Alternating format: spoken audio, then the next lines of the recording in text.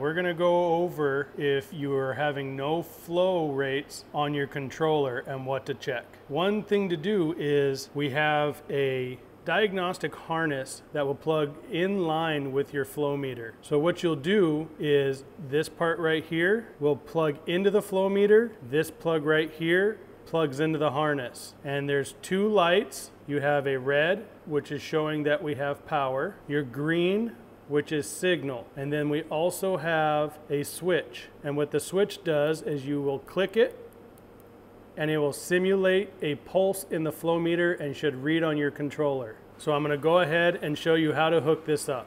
Okay, so the first thing to do is you reach up behind here to your flow meter and you will unplug it and you will take this one right here and you will plug into the harness and then you'll take this one and you will plug it in to the bottom of the flow meter.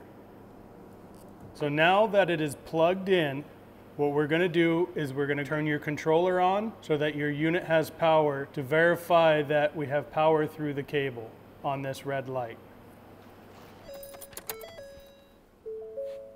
So now that you have power, you see the red light is indicating that we have power to the flow meter. The green is lit up, showing that the signal is connected. So what you'll do is you will take this little switch here, here's your light, and you will click it.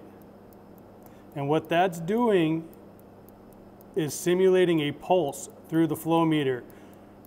At this time, your controller should be reading some kind of flow. The faster you click it, the more flow you're gonna have.